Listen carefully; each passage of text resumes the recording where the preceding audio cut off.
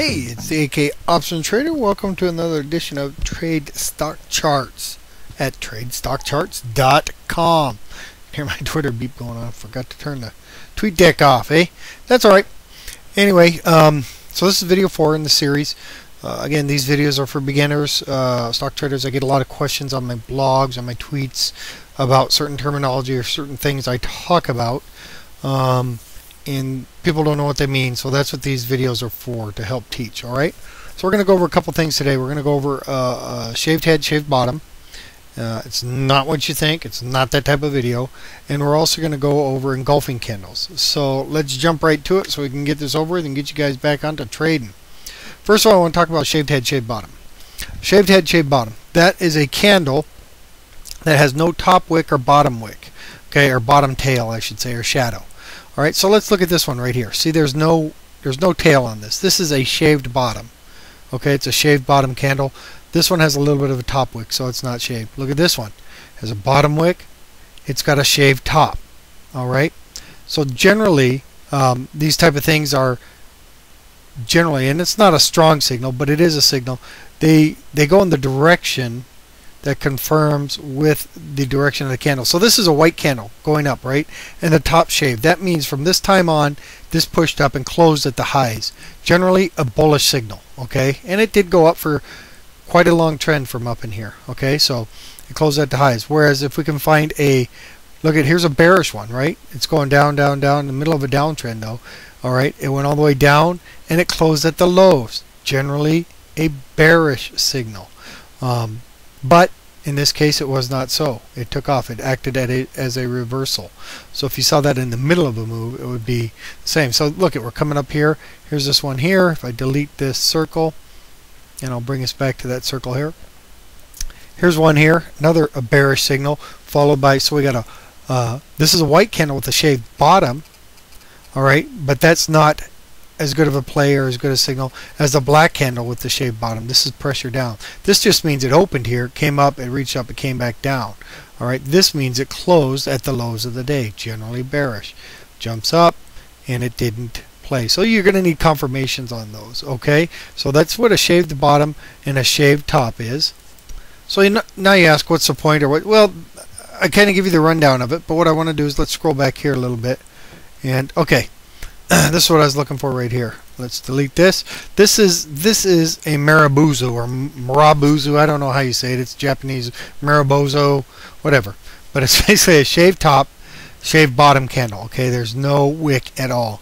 Okay, this would generally be a very bullish signal. You can see, did, was it immediately bullish? No, but it means there's a lot of strong buying. Okay, so if it's shaved on the top and shaved on the bottom, that is a very bullish signal. Vice versa here, this is a black candle, shaved on the top and shaved on the bottom. That means it opened up here and closed at the lows. That's usually a very bearish signal, especially at the end of a top an up move like this. So that's what we got here. This is pretty bearish, okay, generally. Now these aren't strong indicators. They're just another piece of the puzzle, something to watch. Now we're going to incorporate them with another candle. Or, well, not incorporate. They're not always going to incorporate, but they are a type of candle. So um, with the engulfing candles okay? Now engulfing candle is a candle that completely engulfs completely eats the real body of the previous day's candle. The the candle we're looking at should be the opposite co color of the previous candle and like most signals it should occur at the end near of a uptrend or a downtrend all right? So that's what we're looking for. So let's start with one. Here's one right here all right you see this is a white one with a shaved head right it's got a shaved head so it's pretty strong, but it's followed by what we would call a engulfing candle. That's what this is. This whole body, the whole real body of this one, engulfs this one.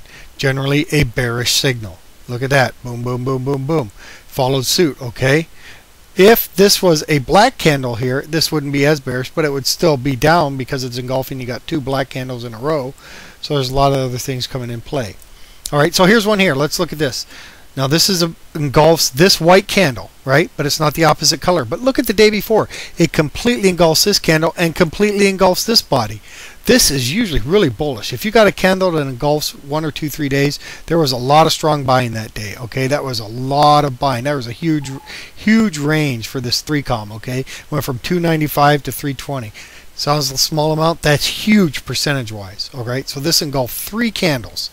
That is very bullish.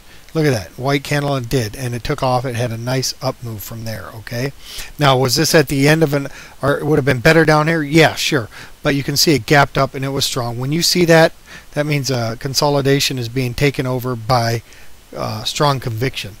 All right, let's see if we can find a bearish one. I think. Oh, here's a good one. This would be better, or here's even a better one. Let's pull this over sideways here. I marked them so I can find them easy.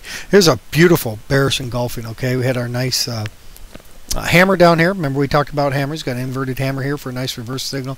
Doji along the way. Got a nice doji reversal coming here. We're saying, uh-oh, something's going on. We better watch this. Followed by a beauty of a uh, bearish engulfing. It's even stronger if it engulfs the whole wicks, but and shadows. The wicks and shadows don't matter. It's the body that matters. This is picture perfect.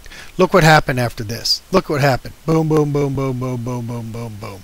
All right, all the way down. You had two up days in this down move. And here's your reversal, our doji, our spinning top right here for our signal of our reversal. Okay, so look at that. Bearish engulfing near the top of a move.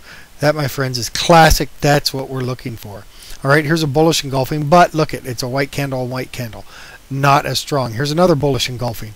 All right, a white candle in front of a black candle. That's a good one. Near the top of a move, though, it'd be better if it's at the bottom of a move. Shaved bottom here. Here's a Marubuzu. Marubuzu. I don't know how to say it. Like, like I'll say, names aren't as important as the identification of them. Anyway, so there's your engulfing. Oh, look at this. Here's a bearish engulfing, but it's near the bottom of a move. So what happens? It bounces off this long-legged doji or dragonfly doji, consolidates before it drops down. So if we saw that up here, after this up move, we'd be saying, all right, if we see a bearish engulfing up here, I'm getting in. And that would probably be a good call, like right here. See this one here? It engulfs this one. That's a beauty right there. And then um, let's see if this with this down move started. If this one started with one. Nope, don't see a good one in there. Not a strong one. So not in that move there, but there was probably, I guarantee there was other signals. So there's your bearish and bullish engulfing and your shaved heads and shaved bottoms. Oh, here's one. Look at here's a bullish engulfing. You see it's not right in the middle, but this whole real body covers this one. And it did move up for a day before it sold off. Here's another one here where it's barely covering it. It's a bullish engulfing near bottom. This should have been a pretty good buy signal. It did pop, sold off, but it rallied again. All right. So you can see it could be a short move depending on the time of year, depending how strong the stock is. There's a lot of factors, but it's just another thing to watch for. Here's another great bearish engulfing. Here we go, near the top of a move, engulfs this whole real body. Back down, there we go. Anyway, so there's your bearish and bullish engulfing, your Marubuzu, and shave heads and shave bottoms. You can find them all over the place now when you look for them. Watch for them. They're pretty strong signals, especially if taken in context, like this one. Look at this bullish engulfing. This is a great signal near the bottom of a move, a gap down followed by a long-legged candle.